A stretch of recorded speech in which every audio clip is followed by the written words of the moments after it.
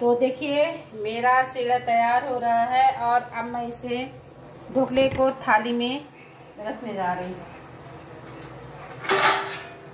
तो जैसा आप लोग देख, ये है रहा ढोकला।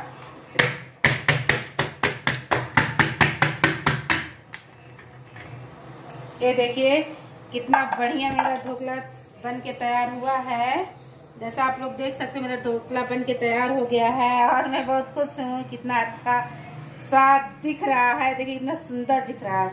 आगे मैं दिखाती हूँ, जब सीरा डालूँगी, फिर मैं दिखाती हूँ। मेरा ढोकला बिल्कुल, देखिए, बिल्कुल केक जैसे लग रहा है। बिल्कुल स्पंजी बना हुआ। देखिए, आप लोग जैसे देख सकते हैं। ये देखिए, ये ये मेरा केक तैयार है। मेरा ढोकला बन के तैयार है और अब मेरा सीढ़ा भी बन के रेडी होने वाला है। मैं दिखा तो मेरा सीढ़ा बन के रेडी है। अब मैं डालूँगी ढोकले के ऊपर अपना सीढ़ा डालूँगी। अभी आप देखिएगा, मैं